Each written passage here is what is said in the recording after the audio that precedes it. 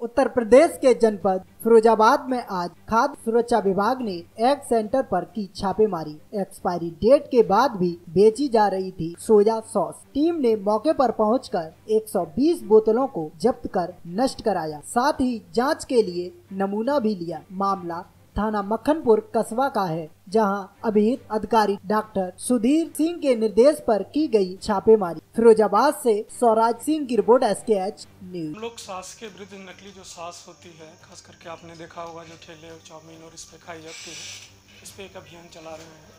और हमें सूचना मिली थी कि मक्खनपुर में एक फैक्ट्री चल रही है, जो नकली सॉस बनाती है, जिसमें काफ़ी तरीके से घातक केमिकल मिलाए जाते हैं।